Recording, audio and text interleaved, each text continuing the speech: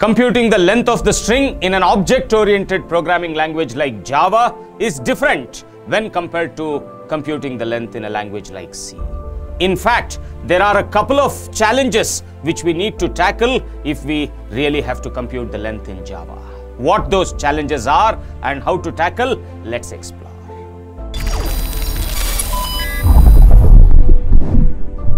Strings in Java are not treated as an array of characters.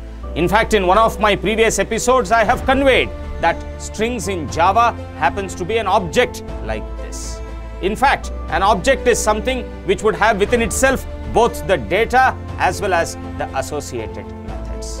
What I have to be doing in this episode is to compute the length of the data ABC tech.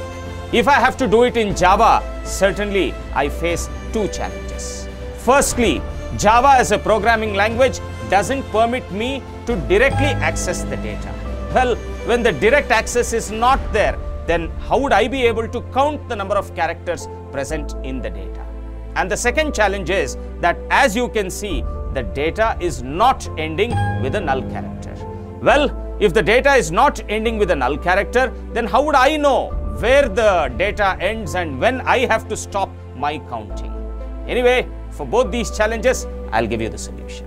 I can tackle my challenges by making use of the inbuilt methods. In fact, there is an inbuilt method called concat. Using this concat, I can certainly attach a null to the end of my data ABC tech. Anyway, if I will have to call the concat, I will have to make use of my reference x. In fact, the syntax in Java is that whenever I have to call the inbuilt methods, I will have to tell the reference name dot the method name. In this case, in case I tell x dot concat of null, then obviously the inbuilt method concat is going to help me to attach null towards the end of the data like this. Hence, one of my challenges is solved.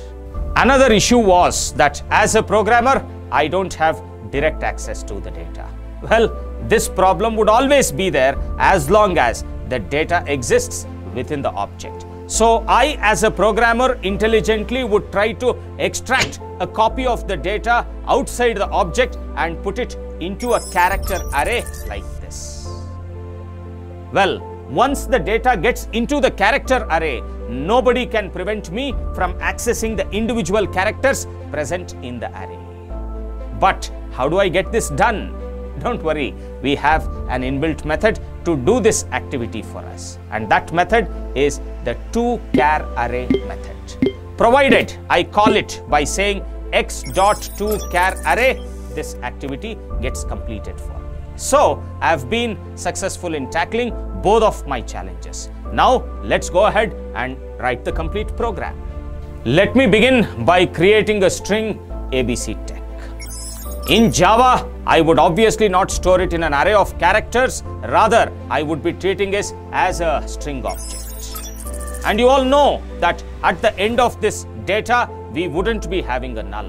So it is my responsibility to attach a null at the end of ABC tech and it can be done like this. And not just that, I would also like to extract a copy of this data and put it into another character array called y and this statement does it for us.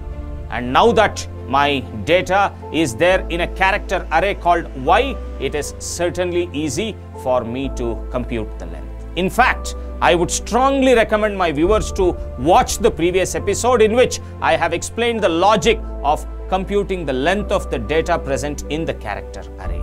Nevertheless, I will have to create two variables called count and i and both of which I would be initializing it to 0. And then in a while loop, I keep verifying if y of i is not equal to null and as long it's not equal to null, I keep incrementing the count as well as i and once all that is done, I am going to print the count value. The complete program looks like this and when I'll execute, this is the output. Hope the logic of computing the length of the string in Java is completely.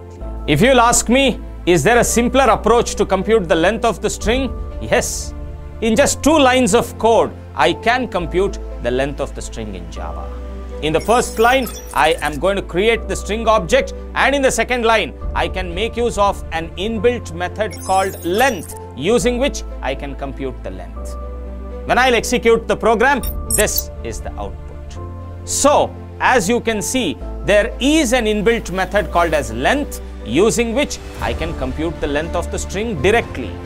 But in the placement interviews, you will be asked precisely to not make use of the length inbuilt method and still compute the length of the string and that's the reason why I have explained to you the previous method. Continue watching this video series and by the end of this series, you would be a much better programmer on strings. See you in the next video.